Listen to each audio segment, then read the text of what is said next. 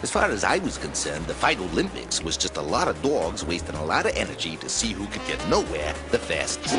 But there was only one thing I couldn't quite figure out. What am I doing in the Fight Olympics? Elliot! Haven't you heard, Ace? It's Health and Fitness Week. You see, I'm dedicating this week's show to sports, exercise, and healthy competition. But you hate exercise. I'd like to see you try this. Ooh, and get all hot and stinky? Yeah, right. Ooh, that's the door. Hold that pose. Elliot, heel! You can't just leave me hanging. Whatever you say, Ace.